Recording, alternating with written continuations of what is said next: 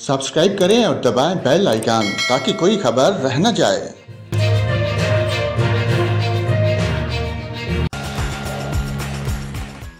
वालेकुम नाजरीन, आपको खबर दें, शहरा के करीब काबल में ऊँचे दर्जे का सैलाब है। इस वक्त पानी का बहाव दो लाख अस्सी हज़ार क्यूसेक रिकॉर्ड किया जा रहा है।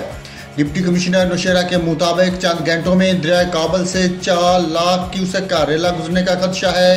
माना खील के मकाम पर हिफाजती बाँध में शगाव पड़ने से पानी पुलिस लाइन में दाखिल हो गया।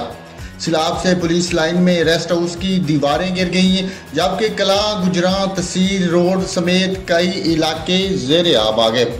उधर बलोचिस्तान में सलाबी रेलों से मजीद छः डैम टूट गए।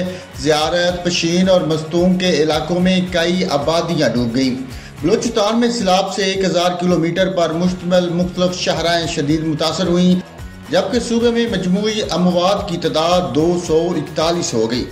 मुल्क भर में इस साल सलाबी सूरत हाल से अब तक नौ सौ सैंतीस अमवाद हो चुकी हैं और आठ लाख के करीब मवेशी हलाक हुए हैं, जबकि छः लाख सत्तर हज़ार घर मुतासर हुए हैं।